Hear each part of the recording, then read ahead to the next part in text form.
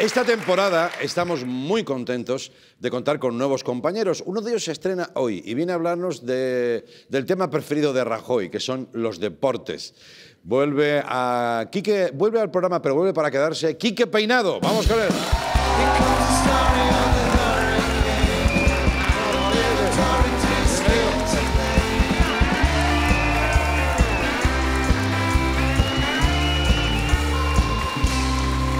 Quique Peinado.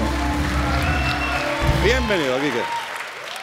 Vaya choza buena tienes aquí, ¿eh? Vaya choza buena, sí. Madre mía. Oye, este es el. eh, primero, el, el mejor, la mejor elección de vestuario que podías hacer. Sí, no, evidentemente no es mía. No, No. tengo yo tanto criterio en la vida. No, pero muy bien, te queda, a ti te, te queda todo bien. Y luego, este debe ser el, el único programa en el que no trabajabas, ¿no? Sí, de hecho yo lo que lo veo, yo decía, coño, Le falta algo. claro, ¿no? O sea, me, estaba sonando hasta raro, pero bueno. Bueno, bueno. Eh, además, sabemos que los deportes, eh, los que te seguimos, que a ti como que tienes Sí, yo- querencia al Yo deporte. soy periodista deportivo de formación, lo que pasa es que luego la vida me sacó del arroyo del periodismo deportivo y me trajo aquí a Yo ti. también, tío, yo empecé con esto, ¿eh? Sí. Fíjate, se, se ve que me vieron tantas maneras que me ofrecieron otras cosas. Eso me ha pasado a mí, yo creo que me, han ido, Ya. me ha ido retirando. Pero te ha quedado, ¿no? ¿Te ha quedado eso? Sí, sí, sí, sí, sí, me gustan los deportes, me ¿Y gustan. por dónde van tus tiros mentales? Hombre, a mí me gusta mucho el boxeo, que es una cosa muy lógica viendo esta cara, ¿no? Dices, ¿qué deporte le gusta a este tío? El boxeo, claramente, ¿no? Y esta pinta. Y el baloncesto, que evidentemente hoy estamos así de enhorabuena porque lo estamos petando en el, Sí, en el Eurobásquet. sí. Que es la primera vez que una selección española en los últimos años no empieza mal. Sabes que tenían como ese mal empezar. Correcto. Bueno, esperemos que acabe también muy bien. Lo que son es buenos. Cuando eres bueno en la vida, ¿verdad? Qué fácil es. Correcto. Con talento yo también lo hago. Claro, claro. Qué fácil. Bueno, yo- mi sección, Andreu, te la Sí. quiero contar. Eh, A mí me da mucha rabia eh, todos los tópicos que hay alrededor del deporte profesional. Sí. Porque yo lo conozco un poco por dentro y a veces creo que no son verdad, ¿vale? Hay muchos lugares comunes y yo vengo a desmontarlos. Vengo a desmontar, mi sección va a tratar de desmontar todos esos lugares de- comunes sobre el deporte profesional y los deportistas profesionales. Por ejemplo, un lugar común. Los deportistas son tontos. Esto es una cosa que se dice a lo mejor, ¿no? O sea, tú dices, vamos a quedar una tertulia en el Café Gijón. No llames al futbolista. Ya. ¿Sabes?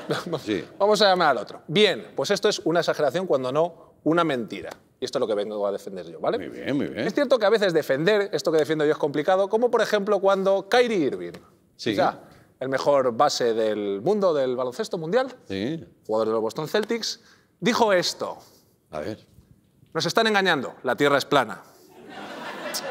Pues- 25, 25 años, ¿eh? O sea, él solo. Sí, sí, sí, Él sí, y sus huevos, los Sí, ahí sí, a sí, tope. ¿Qué necesidad Sí, pero tenía, no? No, pero él no se quedó ahí, porque por lo que sea se vino arriba y dijo, si uno realmente piensa en la forma en la que viajamos y nos movemos, ¿de verdad creéis que rotamos alrededor del Sol?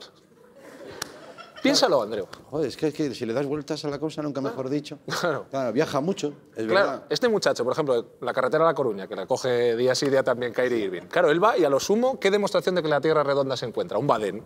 No te termina... No te termina de convencer, ¿no? Convéncelo tú a esa criatura. Por ejemplo, tú has ido alguna vez en coche y has dicho, coño, qué redonda es la Tierra. Espérate, ¿o te ha pasado, ¿te ha pasado a alguna A vez? mí no me ha pasado. Claro. Ah, Ah, yo te lo dejo ahí. Igual Irving no va tan mal encaminado, ¿no? Ah, ya te lo digo. También es que fue un poco... ¿Qué deportistas pueden asegurar, por ejemplo, que la Tierra sea redonda? Yo sé dos. Oliver y Benji. No sé si sí, te sí, acuerdas. es verdad. Es verdad. Que iban... ¿No? Lo llevaron a un extremo exasperante. Exasperante el extremo. Iba el campico así para abajo. Te decías, va a volcar. Claro, claro. Van a tener que pedirle la pelota a, a- a Chicho Terremoto, que estaba en los dibujos de abajo, ¿no? Porque eso irá por planta. Sí, sí, eso, eso pasó. Pero eh, yo me pregunto esta cosa de los tierraplanistas, es una cosa que Sí, sí, son sí. una gente que existe. O sea, no es Kyrie Irving y sus huevos. Lo ha leído en internet por lo que sea. Y los americanos tienen también mucha. Sí, a creérselo todo. ¿eh? Sí. Sí, lo que les venga. Eh, ¿Cuál es el lobby que quiere engañarnos con que la Tierra es plana en vez de redonda? Es decir, ¿a quién le interesa esto? Ya. Porque no veo yo, los científicos te dicen que el pescado azul es bueno y luego es malo y se quedan tan anchos, o sea, se van re- ellos se rectifican, no tiene sí, problema. sí, sí. Pero ¿cuál es el lobby? Yo digo que son los que hacen las peloticas estas tierra, globos terráqueos de los colegios. Claro, a esa gente se les acaba el chollo si la Tierra es plana. Claro. Se quedan solo con lo de los mapas. Claro, claro. Como lobby no me parece muy poderoso para estar defendiendo esto, porque no tienen pinta, pero bueno. Bueno. Pero ahora sí, tú vas a seguir manteniendo esa teoría. de Sí, yo vengo aquí a... Los deportistas no son tontos, a pesar de Kyrie Irving y de imágenes como esta. Esta criatura de Dios es eh, Mario Balotelli. Este es un delantero italiano que él pues no ha tenido muy buena carrera por su cabeza. Bueno, ahí lo está moviendo. Esta es, está perdiendo una batalla intelectual con un peto. Esto es súper complicado. Esto es historia de la humanidad. Fijaos que él, o sea, es un agujero en la cabeza y dos en los brazos. Sí. Ha llegado un brazo, no lo termina de ver.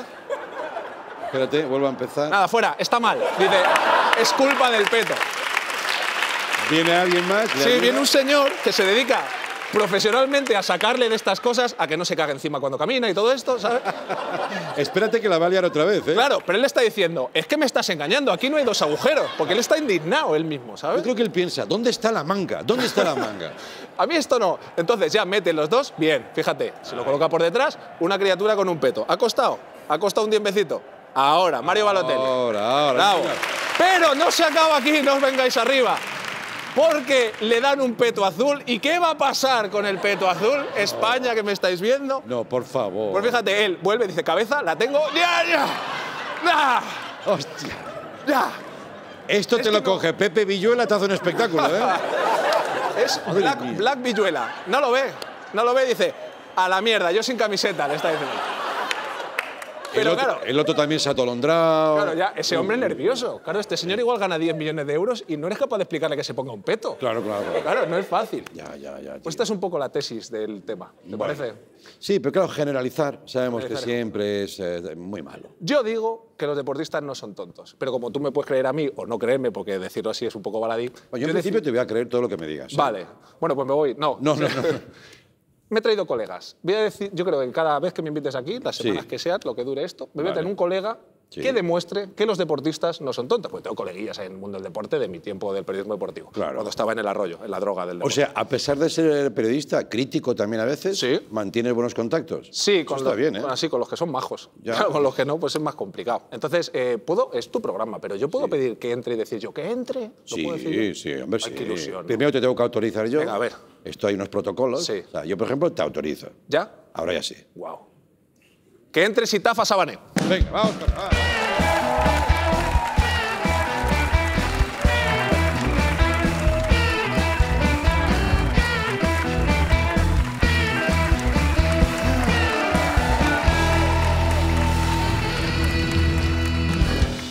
Bienvenido, bienvenido. Bueno, primero que nos confirme, eh, efectivamente, no es que dude de tu palabra, Sí. eh, hay una buena relación de amistad, ¿eh? Efectivamente. Sí, somos los dos extremos de la escala cromática humana. él es, él es- o sea, ahora mismo la cámara está haciendo con el diafragma y diciendo, ¿cómo cojones saco a los dos? ¿no? Está complicado. Qué complicado. No me inventaron para esto, ¿no? ¿Qué, qué es esto? Qué complicado es. Oye, eh, ¿llegaste a coincidir o, o sufrir su periodismo, sus crónicas? Sufrir no tanto. No, yo te hice un reportaje muy bonito y de ahí nos hicimos Sí. ¿eh? Es un Por eso somos amigos. Es correcto. Bueno, Sitafa Sabané, jugador del Estudiantes, al estar aquí diré que es el Movistar Estudiantes, por lo que sea, ¿sabes? Es un Sí, dato bueno. que, Tampoco mientes, ¿eh? Quiero que decir. saco yo. Sí. ¿Es así? Es una criatura grande, nació en Senegal. Ajá. Eh, su padre fue candidato a la presidencia de Senegal. Sí. Su madre trabajó en las Naciones Unidas durante muchos años. Este muchacho estudió en la universidad porque Jimmy Carter se lo recomendó a su madre. Dijo, llévale aquí. Y lo llevó ahí. Así, ¿eh? Ese es el tema. Jimmy Carter en persona, ¿eh? Qué bueno. Sí, sí. Jimmy Carter. Ahí lo tienes. Habla de Jimmy Carter como el que habla de. pff, ¿Sabes el típico colega que hace cosas tan guays que las cuentas tú todo el rato? pues esto es lo que hago yo. Cuéntales la del día ese que. Jimmy Carter. Ah, bueno, te iba a decir, siempre, Quique, que respetes la autoría y de la anécdota. Claro, claro, Aunque claro. digas, pero cuando yo vivía en Senegal, porque no va a colar, ¿eh? ¿Por qué? Como amigo te lo digo, ¿eh? ¿Por qué? No, yo creo Por que- razones X. Vale. Entonces, ¿qué opinas tú de esa teoría generalizada o esa, esa sensación, no? Hombre, como hemos visto en las imágenes, hay algunos en el gremio que no ayudan mucho. Eso es así.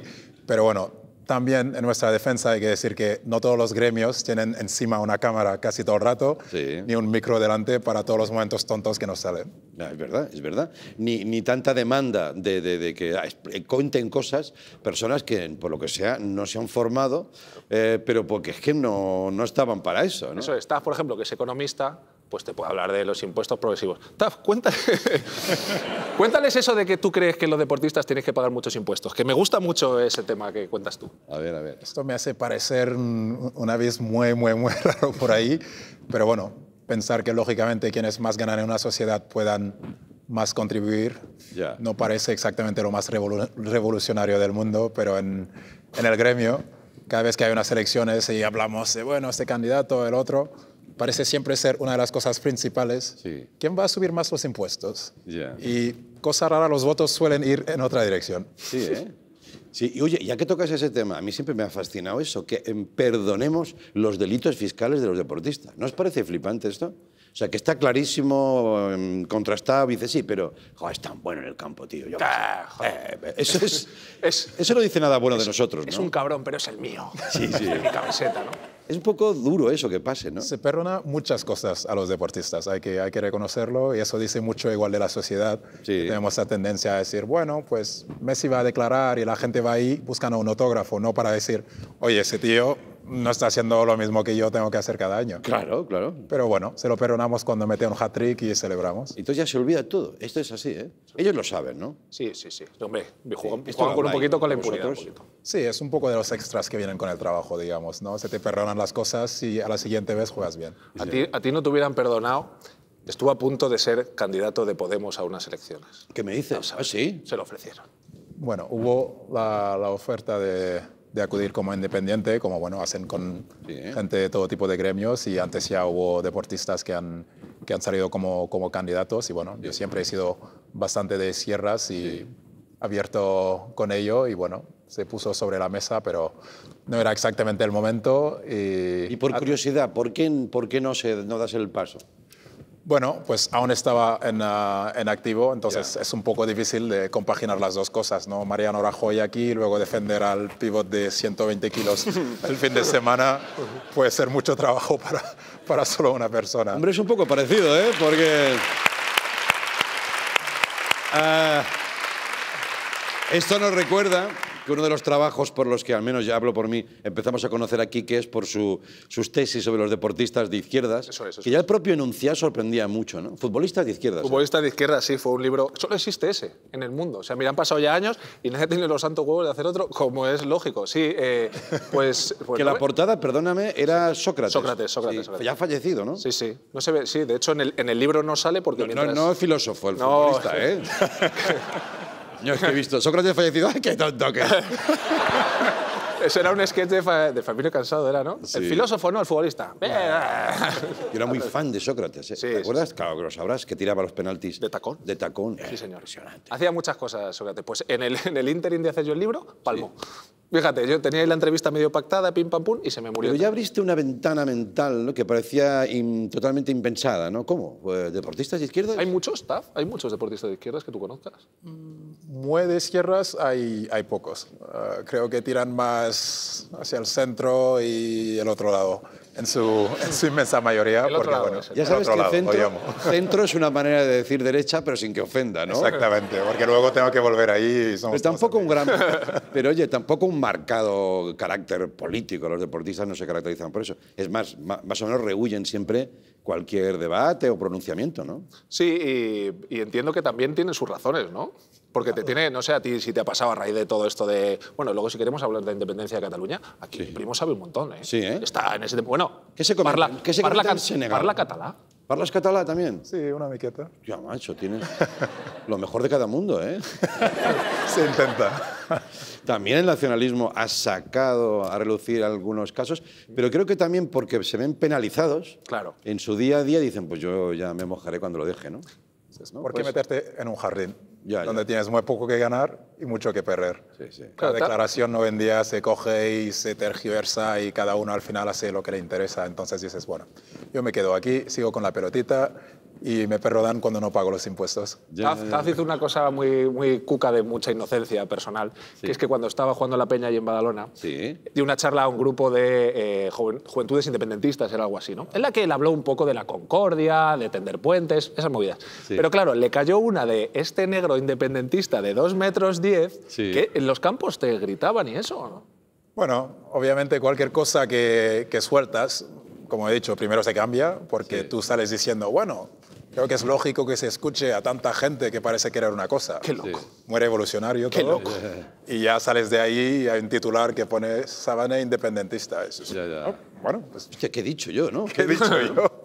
Bueno, que- también esto nos lleva al, al mundo aficiones, que supongo que tocaremos algún día. Sí, sí, sí, Como la afición eh, es una olla a presión de la que salen cosas que no puedes ni imaginar, ¿no? Imagino que tú jugando te, te das cuenta de eso, ¿no?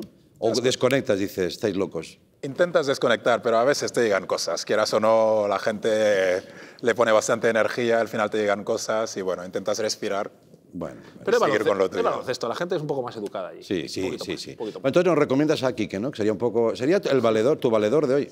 Parece que sí, ¿no? Sí, Sí, sí, ¿no? me- bien. Ya está, ¿eh? No sé si voy a salir muy bien parado, pero bueno, en él confío. ¿Sabes qué pasa? Que Tav tiene 38 años y ya se retira este año, entonces le da todo igual. Ya se junta conmigo, se junta con el que sea, porque como su carrera está acabada, Claro, claro, claro, claro. No tiene nada que perder. no tiene nada que perder, está ahí. Siempre digo, es como el que está en el corredor de la muerte. Te da igual todo en la cárcel. Te pones ahí. Oye, ah, una pregunta ya, una curiosidad. Eh, cuando ya sabes que te vas, te- te- ¿tienes más ganas de irte? Es decir, llega un momento que dices, eh, la semana que viene ya se acabó. Porque nosotros lo vemos como un drama, ¿no? Se retira tal, oh, ah, saqué la camiseta, unos llantos. Pero igual, luego hablas con ellos y dices, yo tenía unas ganas ya de parar. ¿No? Pues sí, la verdad que No. Suena mal decir esto luego mañana tener que ir a entrenar. Hombre, no. pero hay momentos y muchos, como cualquier trabajo, que no son todo lo bonito que se ve de fuera. Hay mucho sacrificio y obviamente cuando llevas ya 18 años haciendo una cosa, dices, bueno, ya estoy bien, ¿no? Es como en un buffet. Por muy buena que sea la comida, llega un momento que dices, vamos a parar y vamos a ir a otra cosa. Exacto, eso bueno, me tranquiliza porque siempre que preguntas a un- a un profesional, cuando lo ha dejado, ¿sigues haciendo cosas? Yo, yo pregunto esa tontería y me miran como diciendo, pero tú eres tonto. me, me dejé la vida to- 20 años, ahora no hago nada. Muchas gracias por venir. Quique, yo creo que va a estar muy bien que venga. ¿Vas a cambiar de traje o vas a intentar que esto quede grabado en nuestra retina? Ah, yo, yo me siento bien. O sea, ¿Sabes parece que miras al sol que luego cierra los ojos y se Sí, queda el eran traje? chiribitas. Sí, yo parece que voy a jugar al golf en 1984. ¿no? Es un poco... Estamos encantados de que te unas a la familia. Muchas gracias también a ti por venir.